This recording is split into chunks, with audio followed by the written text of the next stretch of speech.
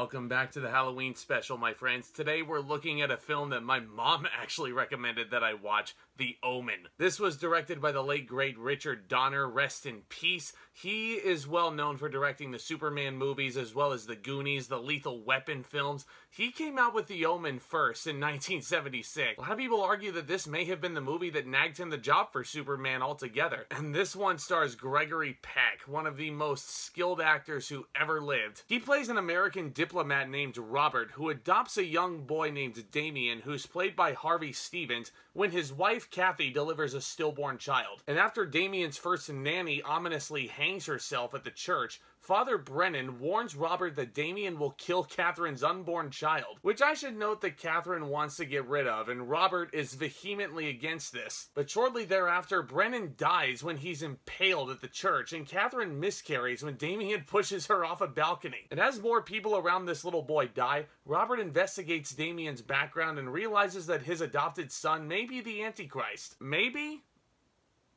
Nah, he totally is. There's three sixes on his scalp. Spoiler, it's not a birthmark. But man, I don't even know where to start with digesting The Omen because this was such a huge hit in the mid 70s. The Exorcist had had its premiere three years prior and it was scaring people out of the movie theater back then, even. And The Omen, I think, is a good psychological horror movie to follow in its footsteps. Dare I say, it's freaking great. And a lot of that has to do with Richard Donner's direction. And you can see why movie studios were trying to land him for bigger projects like a Superman, like a Goonies. You gotta keep in mind that Richard Donner was an up and coming talent in 1976. He was looking to prove himself with something here and the Omen may have been that something. The way he directs his actors is flawless. The cinematography really makes you feel so claustrophobic, like you're trapped in this situation. And there's some really genius framing and some unbelievable symbolism. If you look at the way he's framing stuff early on in The Omen, you'll notice a lot of super clever Easter eggs, like shooting this young boy in front of a fireplace. I mean, if that's not the big hint, I don't know what is. While keeping on the topic of the acting, it is all tremendous across the board.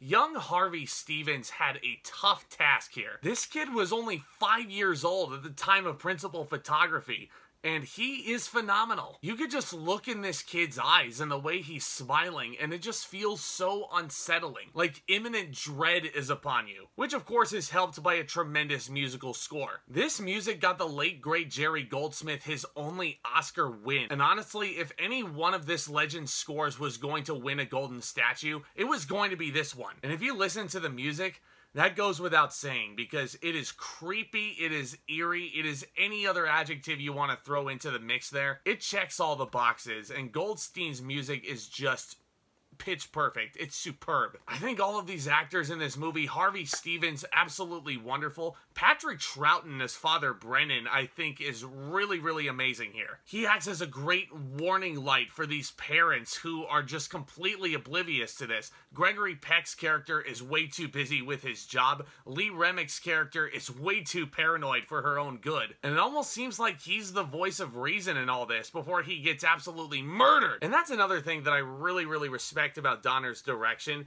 Even though the kills in this are brutal, he doesn't have to overly rely on the brutality of everything. You're not going to see a whole bunch of gore. You're not going to see eyes popping out of skulls or anything like that. It's all in what he chooses to show us, and then we can fill in the gaps with our imagination as to what the end result actually looks like. That's the terror. Again, not a lot of people are going to find the omen all that scary. A lot of people are going to think that the family drama is just way too soap opera esque. And it shows. When this movie first came out, this movie got incredibly mixed reviews from critics. But then as the years went by and people started examining the movie more and more, it just got so much more critical appraise. So much so that they made a remake in 2006, which I dare not talk about. Please do not go and watch that remake. Go and watch the original classic. Everybody is just so on top of their game. Richard Donner's direction is absolutely incredible. Unless I forget, Gregory Peck in this movie is unbelievable. He's given a lot of meaty dialogue in here, very similar to when he was Atticus Finch. He carries a lot of this movie on his back. And it's performances like this, performances like he had in To Kill a Mockingbird,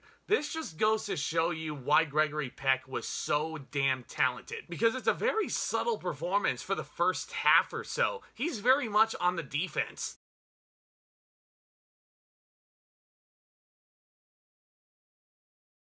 But once he starts realizing that this kid is bad news and that he's killing all of his dearly beloved left and right, he just goes on an absolute tear. And he doesn't care who gets in his way. He doesn't care if his job gets in jeopardy or anything like that. He's going to take this thing on full throttle. And on, you know, Gregory Peck, man, I have a lot more respect for him for taking this role, especially in a movie like this I mean, it feels like the kid very much could have overshadowed the adults in this, and they could have very much made the kid so over the top and everything like that. But no, there's just perfect subtleties in here. There's perfect dosages of just dread coming from this kid. And there are perfect dosages of frantic energy from Gregory Peck to perfectly complement all of this. And as a supernatural horror film, Richard Donner did a damn good job with this. I do have one little nitpick though.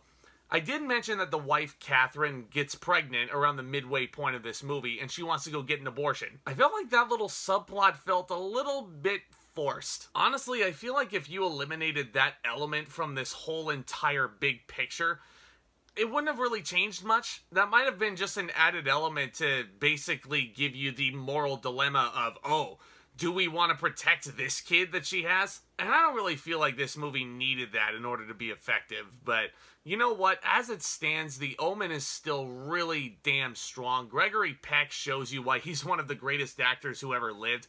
Harvey Stephens, with very minimal dialogue, lest I forget, is just so unbelievably scary. I'm gonna give The Omen an A. I realize that it may be very tough for a lot of you to suspend your disbelief when watching this, but if you've never seen it, I would absolutely recommend giving it a shot. Let me know what you thought of it if you've seen it down in the comments section below. I love discussing all things movies and entertainment. I love discussing scary movies, especially through the month of October. And you know, getting to interact with you guys makes things all the more fun for me. So if you're a new viewer, do consider smashing that subscribe button. Hit that thumbs up on your way out. That would be a tremendous favor. It really, really helps the channel and its growth. And of course, stay tuned for more exciting content hitting my channel very, very soon.